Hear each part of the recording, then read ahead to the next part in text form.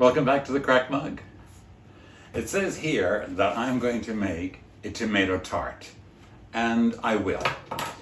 Um, I'll put a picture of the completed one up here for you.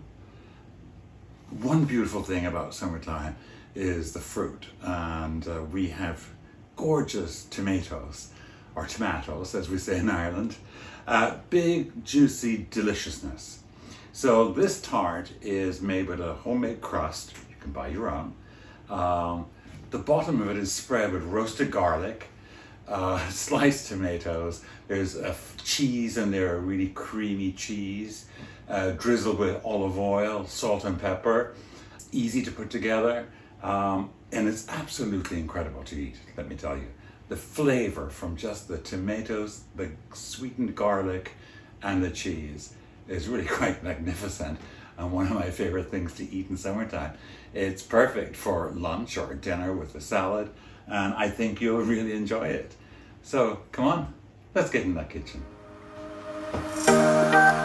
You will need, I have one roasted head of garlic here. I'll put a link in the video up top as to how to do that. It's very easy to do in your oven or even your toaster oven. Uh, here I have also one tart shell. Um, I'll put a link for that up top as well. You could use a pre-made one or use your own favorite one, entirely up to you. This has been made, it's been in the fridge for a couple of hours chilling. We want it nice and cold. Two tablespoons of olive oil, salt and pepper. Here I have Fontina cheese. It's a soft cheese. It's a beautiful, mild, nutty cheese. It's semi-soft, so if you're having a hard time grating it, cut off the amount you need and put it in the freezer for 10, 15 minutes. It really helps with the grating process. This guy you can ignore because I, it's optional. I had it in the fridge. It's Parmesan. So I like to put a little bit of that on top of everything before it goes in the oven. And of course, here we have the star of the show. Um, use your favorite tomatoes. If you have heirloom tomatoes, use those as well. Um, it's one and a half pounds, about 680 grams. Uh, usually I can get some yellow ones as well, but at the moment I'm settling for these sort of deep red or brownish ones and our lovely red tomatoes. You can prepare your garlic days in advance and leave in the refrigerator as you can with your pie shell.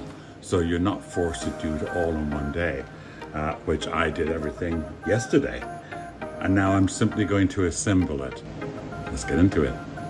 We're going to remove the garlic first and squeeze it. Oh my word.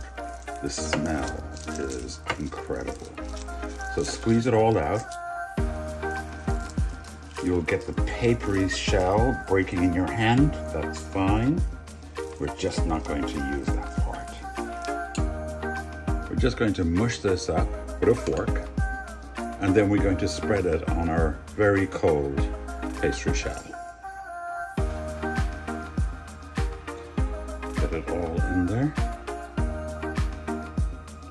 Simply spread it around the base evenly.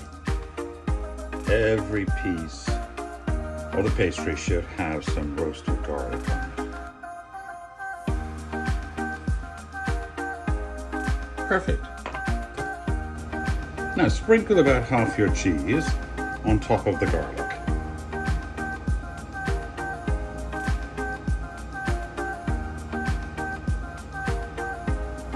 Like so. We're going to arrange our lovely tomatoes slightly overlapping, about halfway up the one behind it. We're going to go around in a circle.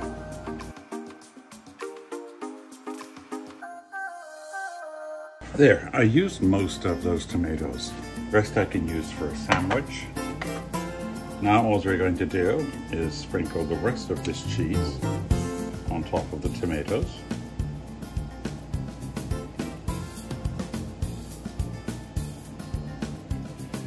Generous amount of salt. I'm using coarse salt, but about a quarter to a half a teaspoon. And some nice fresh black pepper.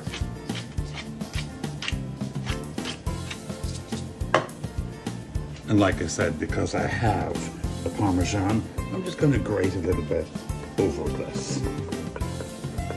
And then lastly, we're going to dribble our two tablespoons of olive oil all over this.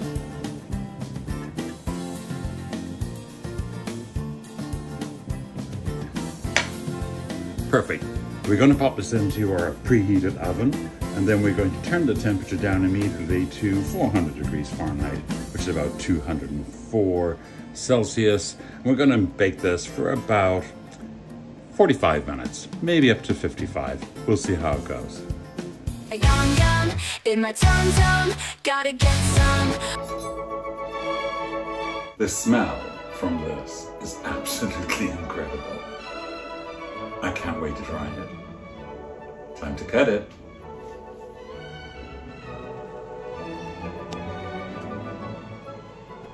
My. Magnificence. It really is beautiful and absolutely uh, lovely golden color on the bottom as well. This is perfect for lunch. Uh, you could also have it with a salad and make a meal out of it for dinner. Uh, lovely if company is coming over, easy to throw together. Uh, little preparation, but I these juicy tomatoes, I just have to try them, and it looks. Mmm.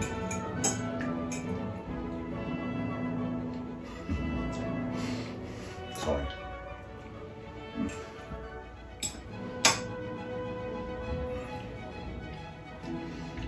The pastry I use is really buttery. It's absolutely melts in your mouth.